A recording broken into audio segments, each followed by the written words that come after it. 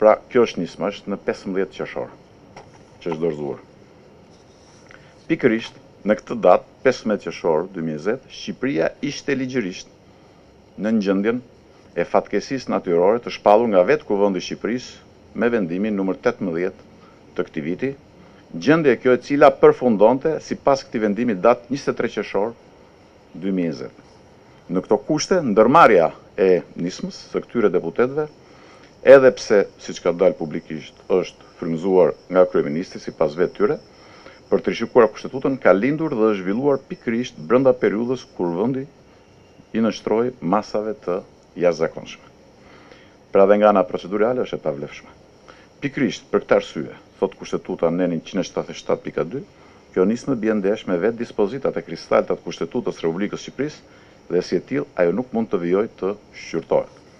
Kushtetuta në nenin nëntëdhjetë e gjashtë njeh qartë koalicionin e partive politike kur sanksionon në paragrafin e parë të saj se.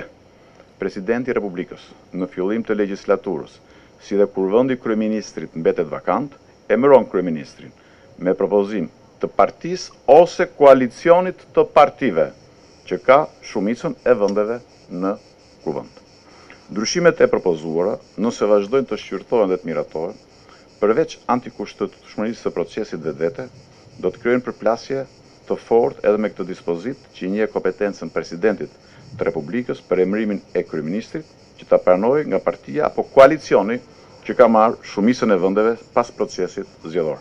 Se Presidenti nuk ikën, ja këtu është Presidenti. Duan ta heqin kur duan vinë. Këtu është Presidenti. Edhe populli aty është në dy mars. Ju nuk i dëgjoni, po unë i dëgjoj ça thonë, shpërndaje, shpërndaje. Kam që nga dy marsi që nuk më ikën kjo Po, më fal, po patjetër, dhe tregojmë edhe kompetencën, siç kanë ata kompetencë për të bërë këto çmendurira dhe marrëzira. Prandaj është momenti të gjithë t'i thërrasin mendjes,